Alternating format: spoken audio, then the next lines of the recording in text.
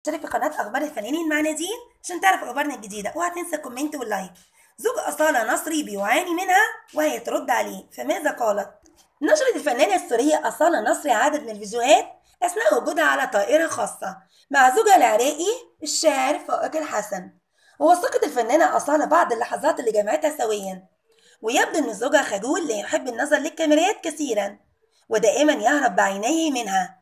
وربما لأنه لا يحب الشهرة ولا الضوضاء لكنها مجبر بما إنه شاعر ومدير أعمالها وأعمال الفنان ماجد المهندس. وفي الفيديو قالت الفنانة أصالة بمسحة إن زوجها يعاني منها كثيرا لأنها كثيرة التكلم ولا تصمت. وقالت بيعاني زوجي من حكيه صح ولا لا؟ لا ليرد عليها ضاحكا بتجنني حبيبتي.